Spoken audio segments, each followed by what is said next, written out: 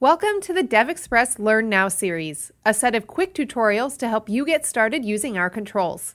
In this video, I'll show you how to add a custom grouping algorithm to the DX grid. So let's get started. I already have a grid control that's bound to the products table of the sample Northwind database. In XAML, I'll set the unit price column's group index to zero. You'll see that the unit price column is now above within the grouping area. When I run the application, you can see that the grid is now grouped by each unit price in ascending order of value. Let's say that I want to group these values in increments of $10. I return to Visual Studio and in XAML, I'll create a custom sort mode and then set my grid control for custom grouping.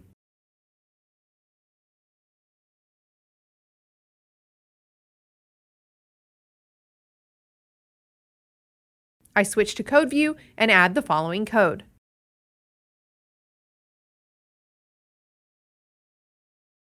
Here, I first make sure that my unit price column is being referenced. So if the process column is unit price, then I'll compare two adjacent rows. If the rows should be combined into the same group, the result is set to 0. Otherwise, it's set to 1 or minus 1. Note that the handled property must be set to true to make sure that no default processes are required. I then set the display text to read unit price in $10 increments.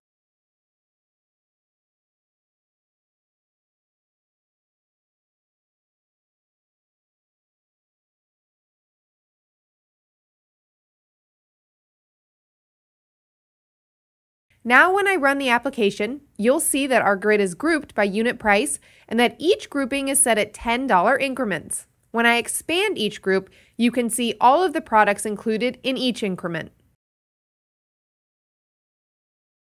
And that's how you can set custom grouping rules for the DX grid.